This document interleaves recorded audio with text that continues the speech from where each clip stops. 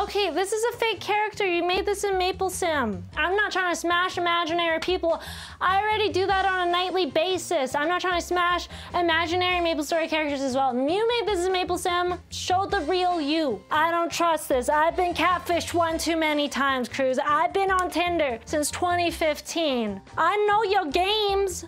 Ah, what did you do here? What was changed here? What was changed here?